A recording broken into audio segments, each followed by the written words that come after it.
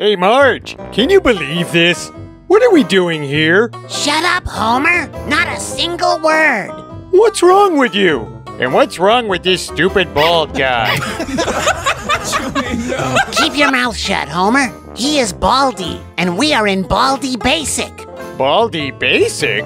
Yes, it's a school. It's time for us to test our math skill. Oh, that's easy.